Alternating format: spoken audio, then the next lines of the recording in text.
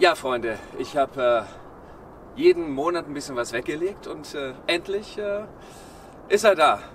Ich konnte mir leisten. Rolls Royce. Cullinan. Ich nehme euch mit.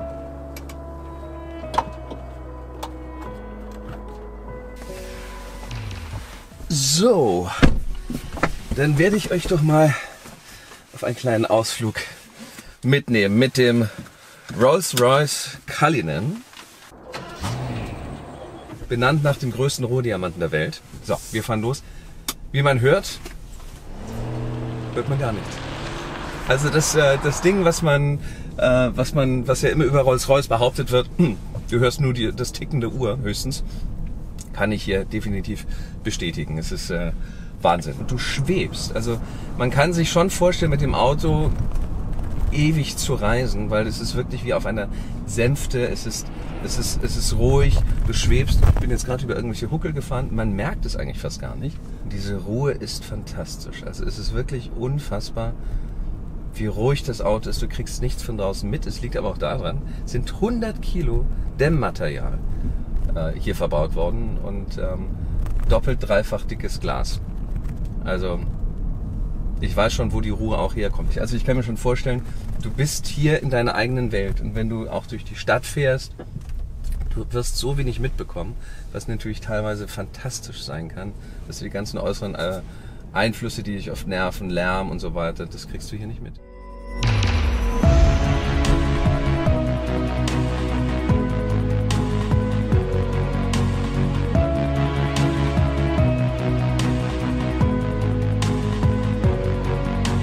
570 PS, 850 Newtonmeter. Das Ding äh, ist in 5,2, 5,3 Sekunden auf 100 schneller als so mancher äh, Sportwagen. 250 Stundenkilometer Spitzengeschwindigkeit und die erreichst du locker. Gerade natürlich die, durch die Newtonmeter schiebt das Ding und hört nicht auf zu schieben. Das ist das reine Vergnügen. Achtung.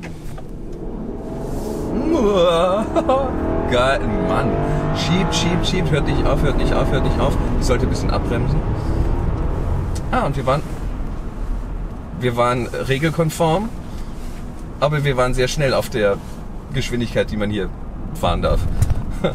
Also das Auto macht auch richtig Spaß, muss man sagen. Es ist ja nicht nur irgendwie, dass es so ein äh, Auto ist, äh, wo du nur irgendwie schweben möchtest, sondern du kannst damit auch richtig Gas geben.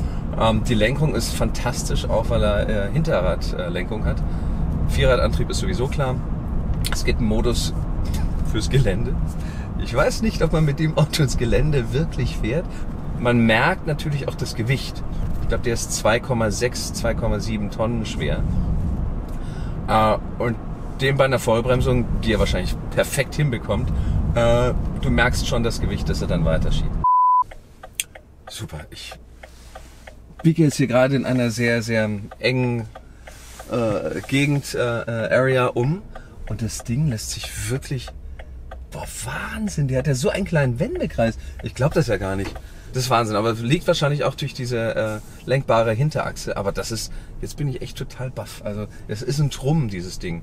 Das ist wie, als hätte ich eine, äh, einen Schrank, den ich fahren würde mit 250 Stundenkilometern. Und ist aber so leicht, das Handling und, und Wendekreis.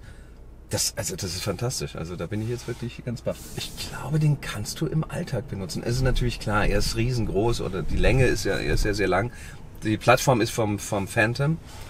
Mit Parkplätzen dürfte es ein bisschen schwierig werden, aber du gewöhnst dich sehr, sehr schnell an diese Ausmaße. Und es kommt dir nicht so vor, als wärst du in einem riesen Truck oder sowas, sondern er ist übersichtlich. Du kannst alles sehen. Also der ist für mich absolut alltagstauglich. Also Leute reagieren interessiert, weil ich glaube, dass die meisten noch gar nicht wissen, dass es ein SUV von äh, Rolls-Royce gibt. Und deswegen sind die irritiert, weil das Auto von außen auch sehr groß wirkt, sehr beherrschend, aber von der Form noch unbekannter ist als ein Phantom zum Beispiel. Die Ingenieure haben hier was Fantastisches geleistet. Es ist ja ein Zwölfzylinder. Und wenn du den äh, anmachst, wenn er kommt, denkst du erstmal, das sind riesen Vibrationen und, und ein Röhren und so weiter. Und die haben einen geilen Test gemacht. Die haben auf die Motorhaube ein, äh, eine, eine Münze drauf, also hochkant, nicht hingelegt, sondern das einfach. Haben den Motor gestartet und die Münze ist nicht umgefallen. So laufruhig ist dieser Motor, das ist Wahnsinn. Und das kriegst du natürlich auch mit. Es gibt hier keine Vibration, nichts. Es ist einfach nur ein Vergnügen. Du gibst Gas, er geht weg.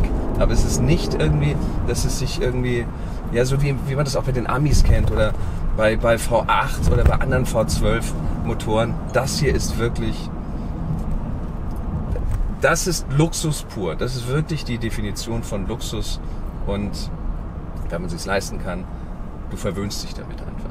Dieses Modell fängt bei 300.000 Euro an unseres ähm, mit ein paar Features, ähm, da liegen wir ungefähr bei 400.000 Euro. Und ähm, mit mir drin äh, sind es mehrere Milliarden natürlich, das ist klar. Als Vergleich, es gibt ja den G63, ähm, es gibt ähm, den SUV von, von Bentley, es gibt äh, Range Rover. Ähm, die hören, glaube ich, alle bei Mitte 200.000 auf oder sowas. Oder knappe 300.000, da fängt der hier erst an. Es ist wirklich, eigentlich ist es fast bisschen wie eine Kur. Wenn du mit dem Auto fährst, ja. Du machst eigentlich eine Ayurveda-Kur. Es fehlt nur der Einlauf. Kriegst du hier vielleicht auch. Ähm, aber von der Ruhe und von der Entspannung ist es fantastisch. Und es ist auch ein Auto, ähm, den kannst du ja wirklich gut treten. Aber das machst du mit dem nicht. Weil du entspannst unwillkürlich. Das ist nicht so ein kleiner so, sondern du kannst Gas geben, du weißt, dass du die Power hast, musst es aber nicht machen, sondern den genießt du einfach.